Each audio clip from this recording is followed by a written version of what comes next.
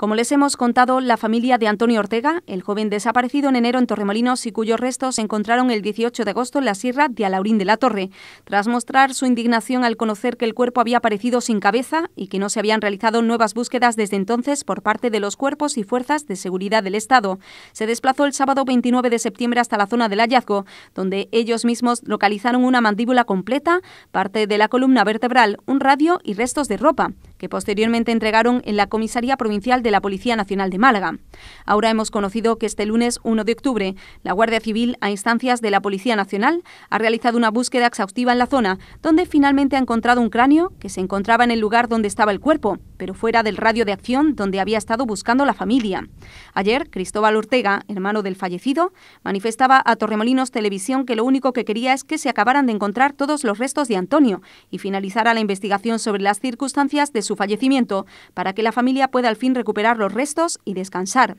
Según Ortega, todo apunta a que su hermano, que tenía una enfermedad mental por la que necesitaba tratamiento, sufrió un accidente en la sierra y posteriormente sus restos se dispersaron por las corrientes de agua o por la acción de algún animal, ya que en la zona hay jabalíes.